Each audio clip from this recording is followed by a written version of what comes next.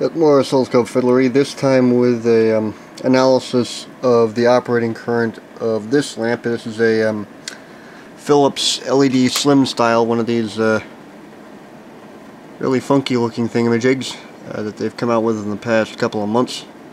Actually, within the past couple of months, like earlier this year.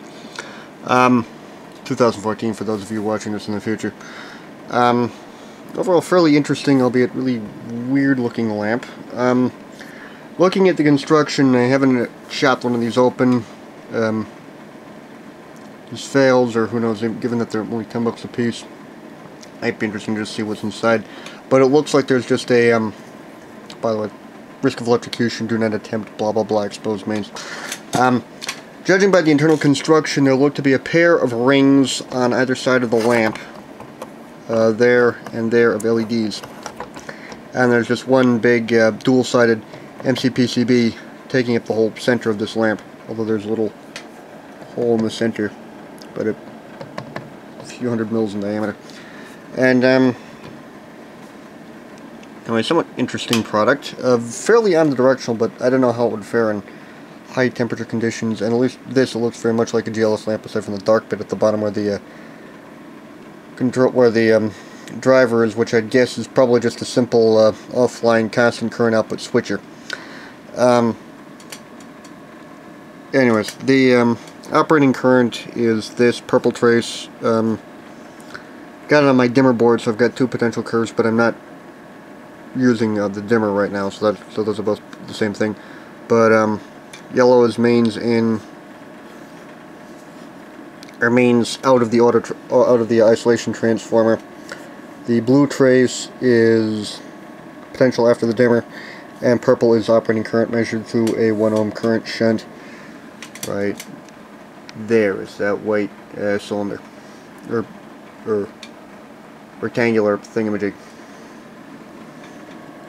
Anyways um, current again fairly noisy as is typical. Um, frequency of that I've measured it it's about or I've looking at it in detail in the scope it's in the neighborhood of um, 50 to 60 kilocycles or so. Um, maximum minimum currents both in the 200 change milliampere range. Um, peak to peak 480-ish milliamperes off 147 milliamperes RMS. But again, hmm, the cursors again. I think that's probably an artifact of the lamp warming up. Is the potential for which it operates turns on and off changes. The, the actual main switcher driving the LEDs. Um, it's fairly interesting is that as the potential goes up, the current actually drops a bit and then rises again as the current um, falls. Which is suggestive that it's probably that the operating region of this is constant power or constant current out through a non-changing potential load, which is the LED series string. Anyway, that's somewhat interesting, and uh, we do the cursors again.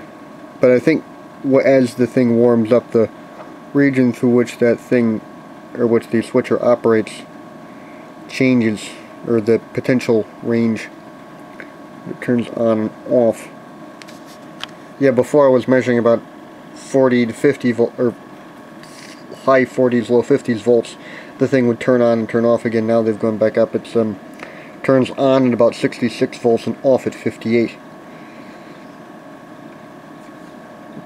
Although it is operating a bit when the potential is between those two ranges. And there's also the little hitch right there, which is, I guess, let's look at that on my cursor, use the closer one. Up. That's the wrong cursor. I want X. Nope. Switch mouse. Uh, yeah, that hitch is yeah pretty close to zero cross. Uh. Yeah, zero volts. So, yeah, one annoying thing about this is that what I've seen on some of the Agilent scopes is the uh, is things like the time cursors will tell you the potential on a given curve that that, that of the or the or the um, level of the signal on which that a cursor is for a given channel.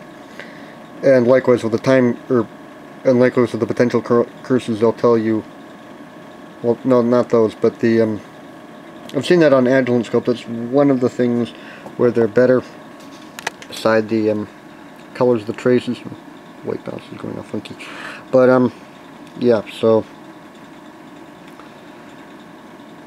So Agilent if your people are listening to this something in this kind of form factor with this whole uh, setup for controlling the um, segmented memory, the jog dial and um, the dual level jog dial, play, uh, replay, record buttons, something like this, your normal trace colors, um, decent sample memory, none of the crap with the DSOX 2000 series where you're where you're using the same case as the higher end scopes and some of the buttons don't even do anything. Um, get rid of the stupidity as far as everything like the deep memory, segmented memory, costing extra money to enable, which given the insanely low cost of memory nowadays is just stupid. Um, things like combined with the your MegaZoom ASIC offering things like hardware serial or serial decodes, um, um, and all that stuff in the $2,000, $2,500 range for 100 megacycle input bandwidth scope um, you know 5 million to 20 million probably in the 10 million to 20 million point uh, sample memory although by all means higher than that for $2,000 to 2500 dollars you would make a killing because this is where scopes like this are really beating the pants off of you and the only real problems are some of the things with the um, cursors and their oddball trace colors. So yeah. Also one thing which I've only really seen Tektronix do where just minor things like the buttons lighting up the same color as their trays. Um, maybe also the case with the AC and the bandwidth just so you can tell as it is having the 50 ohm light up red.